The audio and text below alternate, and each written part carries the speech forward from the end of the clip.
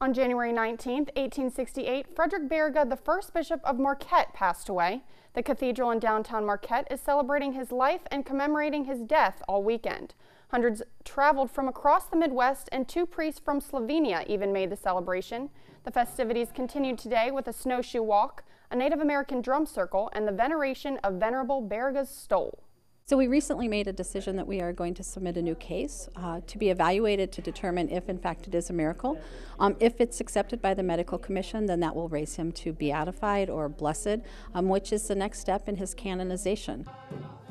The famed miracle hunter Michael O'Neill then gave a presentation on what it takes to become a saint. Last night, the EWTN documentary on Bishop Baraga's life debuted.